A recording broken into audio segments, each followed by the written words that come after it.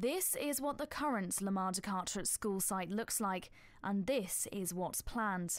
The state first approved a move to redevelop the schools back in 2002, and come November, members will make a decision on whether these plans will become a reality. It means equality of provision um, and also big improvements in the fabric of the building, which is crumbling. Um, we have a fabulous school but we do need now the facilities to match the education. Costing just under £65 million, the project has not sought the support of all of the members of the Treasury and Resources Board. Which is a huge amount of money, I accept that, without inflation.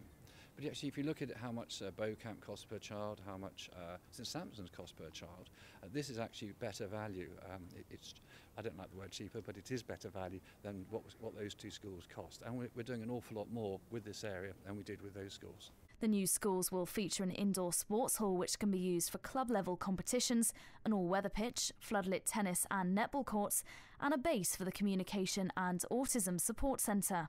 All the other children would have a um, a better space to work. I'm, I really like the look of the new school because of all the new facilities they're going to build.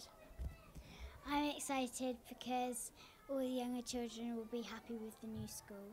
If States members approve the plans, work will start on the new schools next year, with the hope of having the work done and the school up and running by September 2017. Fae Clerey, BBC Channel Islands News, Guernsey.